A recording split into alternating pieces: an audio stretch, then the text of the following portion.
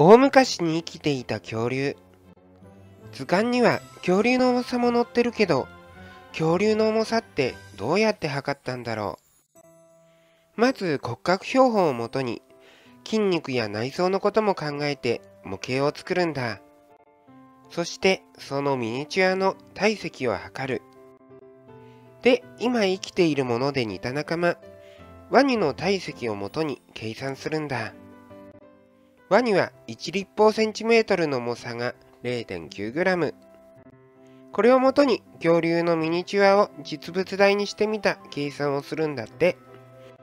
今日も見てくれてありがとう。またね